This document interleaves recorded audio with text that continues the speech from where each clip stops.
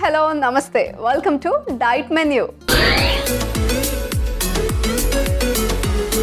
diet మెన్యూలో haemoglobin deficiency ఉంటే ఎలా జాగ్రత్తలు తీసుకోవాలి? ఎలాంటి డైట్ తీసుకోవాలి? హిమోగ్లోబిన్ లెవెల్స్ ఇంప్రూవ్ చేసుకోవాలంటే ఎలాంటి రెసిపీస్ తీసుకోవాలి? ఇలాంటి సజెషన్స్ అన్నీ ఇస్తున్నారు డాక్టర్ లహరి. మరి ఈరోజు హెల్దీ రెసిపీ ఏంటో అండ్ ఈరోజు ఏమేమి మాట్లాడుకోబోతున్నామో తెలియాలంటే మన లహరిని ఇన్వైట్ చేయాల్సిందే. Let's invite our dietitian Lahari. Hi Lahari. Hi Deepa ఏంటి కలర్ఫుల్గా కనిపిస్తున్నారు మ్యాచింగ్ ఇయర్ రింగ్స్ మీకు మ్యాచింగ్ అని. అబ్బా. అందుకని. మరి ఈరోజు రెసిపీ కూడా అంతే కలర్ఫుల్గా ఉండబోతుందా? ఓన్లీ కలర్స్ మీలోనేనా? లేదు కొంచెం కలర్ఫుల్ గానే ఉంటుంది. అయితే మనకి ఓన్లీ కలర్స్ వెజిటబుల్స్ నుంచి వస్తాయి జనరలీ బట్ ఈ రోజు కలర్స్ మనం డిఫరెంట్ ఇంగ్రీడియంట్స్ నుంచి తీసుకుంటున్నాం. ఓకే ఇంతకీ పేరేమిటో? Bean salad bean salad. Okay three different kinds of బీన్స్తో చేసుకుంటున్నాము. సో ఇది జనరలీ మనకి హిమోగ్లోబిన్ నుంచి మాట్లాడుకుంటున్నాం కదా ఈ వీక్ అంతా కూడా. ఈ hemoglobin కి స్పెషలీ మనం ఐరన్ చాలా అవసరము అనుకున్నాము. అలాగే ఐరన్ అబ్జార్ప్షన్కి విటమిన్ సి చాలా అవసరం అనుకున్నాము. ఈ ఐరన్ విటమిన్ సి చాలా ఎక్కువగా ఉండే ఫామ్లో ఈ సాలడ్ ఉంటుంది. Okay so three ingredients three types of bean ఉంది కాబట్టి త్రీ బీన్ సాలడ్ అన్నమాట. ఎస్ ఓకే మేమైతే త్రీ బీన్ సాలడ్ చేస్తున్నాము. మీకు ఇష్టమైతే మీరు ఫోర్ ఫైవ్ అంతకు మించి కావాలంటే ఏదైనా చేసుకోండి. ప్రస్తుతానికి త్రీ బీన్ సాలడ్కి కావాల్సిన పదార్థాలు ఒకసారి చూసేద్దాం. త్రీ బీన్ సాలడ్కి కావాల్సిన పదార్థాలు. ఉడికించిన రాజ్మా ఉడికించిన సోయా గింజలు ఉడికించిన శనగలు ఉల్లిపాయ ముక్కలు టొమాటో ముక్కలు క్యారెట్ తురుము కారం వేరుశనగ పప్పు నిమ్మకాయ ఉప్పు కొత్తిమీర నూనె. త్రీ బీన్ సాలడ్ తయారు చేసుకోవాలంటే ఏమేం కావాలో చూసారు కదా? ప్రొసీజర్ స్టార్ట్ చేసేద్దాం. లహరి స్టార్ట్ చేద్దామా? యా. సాలడ్ అవ్వడానికి కోల్డ్ సాలడ్ అంటే రూమ్ టెంపరేచర్ అయినప్పటికీ కూడా ముందుగా మనం కొన్ని కుక్ చేసుకుని పెట్టుకోవాలి. సో ఒక్కసారి. మనం ముందే కొన్ని ఇంగ్రీడియంట్స్ ఆల్రెడీ స్పెషలీ బీన్స్ ఇదేంటంటే మనకి జనరలీ ఫ్రెష్గా కంటే కూడా డ్రైడ్ బీన్స్ ఎక్కువ దొరుకుతాయి. మన రాజ్మా కానీ చోలే కానీ సోయా బీన్స్ కానీ వీటిని మనం ఒక five to six hours soak చేసుకుని రాజ్మా అయితే ఇంకా ఎక్కువ సోక్ చేయాల్సి ఉంటుంది. అంటే నానబెట్టుకొని ఆ తర్వాత ఒకసారి కుక్ చేసుకోవాలి. వాటర్లో బాయిల్ చేసుకుంటే కుక్ అయిపోతాయి.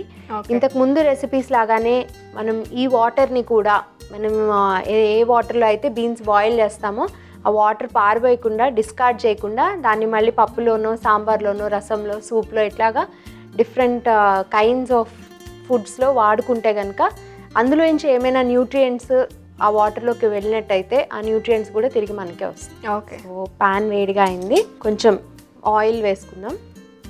ఇది సాలడ్ కాబట్టి ఎక్కువ ఆయిల్ అది అక్కర్లేదు. కొంచెం సరిపోతుంది. ఈ ఆయిల్ కొంచెం వేడెక్కితే హీట్ అయ్యే లోపల మనం హిమోగ్లోబిన్ గురించి మాట్లాడుతున్నాం కదా డెఫిషియన్సీ ఉన్న వాళ్ళ గురించి. ఈ వీక్ అంతా అదే మాట్లాడాము. కొంతమంది మిస్ అయ్యి ఉండొచ్చు. ఇంకొకసారి గుర్తు చేద్దాం. అసలు ఈ డెఫిషియన్సీ ఎందుకు వస్తుంది ఏంటి అని. త్రీ డిఫరెంట్ రీజన్స్ ఉండొచ్చు ప్రైమరీలీ అని. ఒకటి రెడ్ బ్లడ్ సెల్స్ తయారయ్యేటప్పుడే హిమోగ్లోబిన్ అందులో సరిగా ఉండకపోవటము. రెండోది red blood cells break down అవుతాయి ఎవ్రీ నైంటీ డేస్కి ఒకసారి.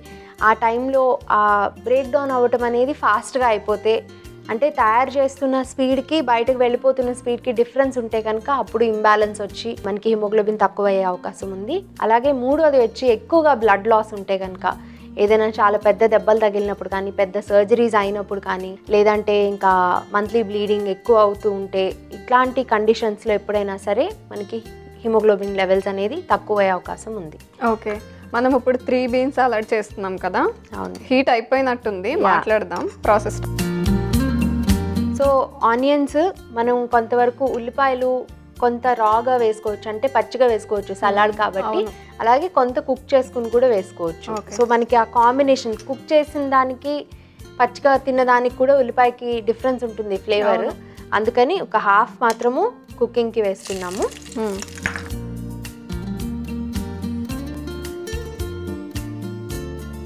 ఇప్పుడు మనం దీంట్లో మూడు రకాల బీన్స్ అనుకున్నాం కదా? ఇందులో సోయా బీన్స్ వేసుకుందాం ఫస్ట్. సోయా బీన్స్ ఏంటంటే చాలా మందికి సోయా బీన్స్ తినాలి మంచిది అని తెలుసు కానీ దాన్ని ఎలా తినాలి ఏం చేయాలి అనేది తెలియదు. సో మనం కేవలం కూర వండుకోవడం కాకుండా ఈ ఫామ్లో కూడా ఇలా సలాడ్ లాగా కూడా చేసుకోవచ్చు. ఈ సోయాబీన్లో చాలా ఎక్కువ ఐరన్ కంటెంట్ ఉంటుంది. Generally vegetarian sources of iron మనకి తక్కువగా ఉంటాయి. బట్ ఈ బీన్స్లో ఐరన్ కంటెంట్ చాలా ఎక్కువ ఉంటుంది. ఎస్పెషలీ సోయా బీన్స్ ఇంకా రాజ్మా వేస్తున్నాను. ఇవి కొంచెం తక్కువగా వేసుకుంటే బెటర్. మనకి మిగతా గింజల కంటే కొంచెం గట్టిగా తగులుతాయి. సో మన ప్రిఫరెన్స్ని బట్టి ఓకే. వేసుకోవచ్చు. అలాగే ఇంకా లాస్ట్ శనగలు. దీంట్లో నేను తెల్ల శనగలు వాడుతున్నాం మనము. ఓకే. కానీ నల్ల శనగలు కూడా చేసుకోవచ్చు. లేకపోతే గ్రీన్ కలర్లో ఉంటాయి శనగలు అవి కూడా వేసుకుని చేసుకోవచ్చు. ఇంట్లోనే కొద్దిగా సాల్ట్ అది కూడా వేడిగా ఉన్నప్పుడు ఈజీగా యాడ్ అవుతుంది కాబట్టి ఈజీగా యూనిఫామ్గా స్ప్రెడ్ అవుతుంది కాబట్టి కొంచెం సాల్ట్ వేసుకుందాము. కారం కూడా వేసుకుందాం. ఎక్కువ అవసరం లేదు. సాలడ్స్ ఎప్పుడు మనం కూరల్లో వేసినట్టుగా కారం ఎక్కువ వేసుకోకూడదు. సో ఇంతవరకు వేసుకొని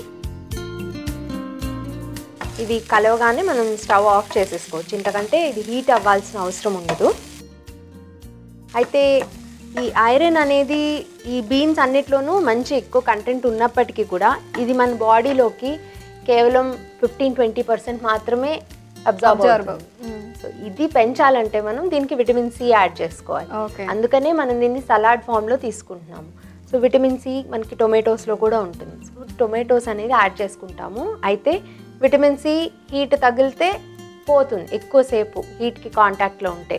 అందుకని మనము వేడి చేసుకున్నటువంటి గింజలన్నీ కూడా కొంచెం సేపు రూమ్ టెంపరేచర్కి వచ్చే వరకు వెయిట్ చేద్దాం. ఓకే ఓకే రూమ్ టెంపరేచర్కి వచ్చినట్లుంది కదా? వేడి తగ్గిపోయింది. సో ఇంకా మనం సలాడ్కి కావాల్సినవి యాడ్ చేసుకోవచ్చు. ఇందాక మనం హాఫ్ ఆనియన్ సగమే వేసుకున్నాం కదా ఉల్లిపాయలు మిగతా పచ్చి ఉల్లిపాయలు కూడా దీంట్లో వేసేసుకోవచ్చు. Hmm. అలాగే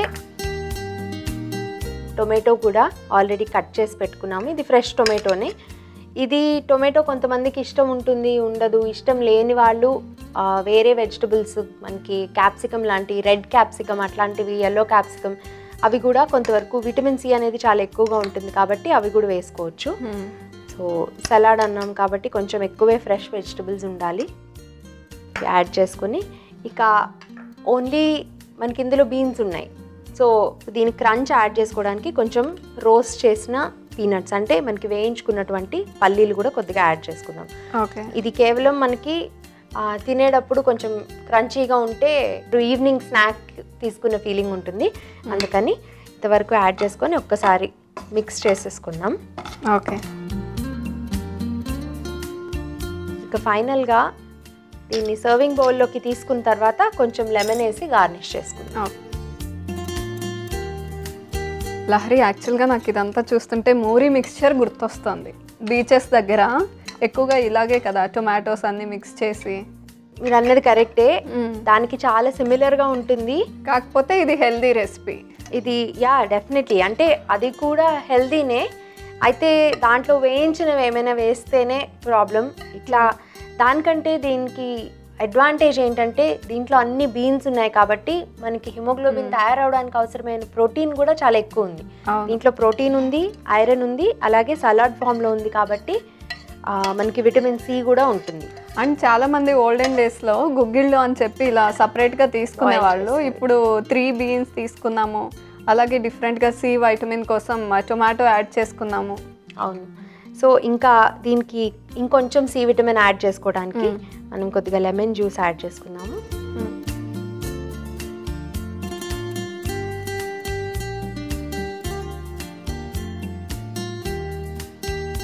పైన కొంచెం క్యారెట్ తురుము.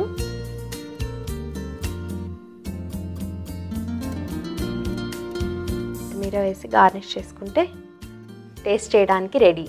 అన్న త్రీ బీన్ సాలెడ్. వావ్. చూసారు కదా ఈజీగా సింపుల్గా తయారు చేసేసుకున్నాం త్రీ బీన్ సాలడ్. మరి దీనికి కావాల్సిన పదార్థాలు అండ్ తయారీ విధానం ఒకసారి చూసేయండి. త్రీ బీన్ సాలడ్కి కావాల్సిన పదార్థాలు. ఉడికించిన రాజ్మా ఉడికించిన సోయా గింజలు ఉడికించిన శనగలు ఉల్లిపాయ ముక్కలు టొమాటో ముక్కలు క్యారెట్ తురుము కారం వేరుశనగ పప్పు నిమ్మకాయ ఉప్పు కొత్తిమీర నూనె. త్రీ బీన్ సాలడ్ తయారీ విధానం. ముందుగా స్టవ్ ఆన్ చేసి పాన్ పెట్టి అందులో నూనె ఉల్లిపాయ ముక్కలు ఉడికించిన సోయా గింజలు ఉడికించిన రాజ్మా ఉడికించిన శనగలు ఉప్పు కారం వేసి కలుపుకుని స్టవ్ ఆఫ్ చేసుకోవాలి. తర్వాత అందులో ఉల్లిపాయ ముక్కలు మిగిలిన టొమాటో ముక్కలు వేరుశనగ పప్పు వేసి కలుపుకోవాలి. ఇలా తయారు చేసుకున్న దాన్ని సర్వింగ్ బౌల్లోకి తీసుకుని నిమ్మరసం క్యారెట్ తురుము కొత్తిమీరతో గార్నిష్ చేసుకుని సర్వ్ చేసుకుంటే tasty tasty three bean salad ready. Three bean సాలడ్కి కావాల్సిన పదార్థాలు అండ్ తయారీ విధానం చూసారు కదా? టేస్ట్ చేసేద్దాం లేట్ చేయకుండా. నువ్వు కూడా టేస్ట్ చేస్తే బాగుండేది కదా? పర్లేదు నేను ఆల్మోస్ట్ ఎవ్రీడే నేను తింటే నువ్వు తిన్నట్టే అని ఫీల్ అవుతావు కదా డెఫినెట్లీ అండ్ మీ టేస్ట్ చెప్తారు కదా ఎలాగా? యా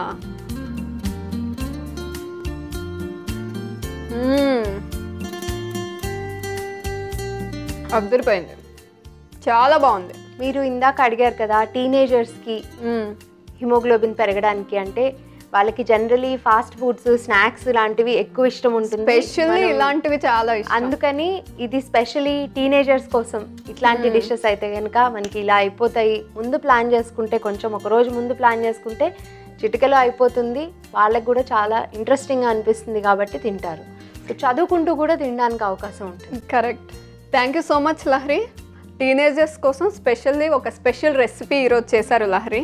చూశారు కదా ఎంత ఈజీగా సింపుల్గా తయారు చేసుకోవచ్చో. మరి ఈ టేస్ట్ని మీరు కూడా ఎంజాయ్ చేయాలనుకుంటే ఈ త్రీ బీన్ సాలడ్ని మీరు కూడా తయారు చేసుకుని టేస్ట్ చూసి మీకు మీరే చెప్పుకోండి ఎలా ఉందో మాకు చెప్పలేరు కదా. ఇలాగే నెక్స్ట్ వీక్ సరికొత్త కాన్సెప్ట్తో మరో కొత్త రెసిపీతో మీ ముందుంటా. Until then take care this is Deepa signing off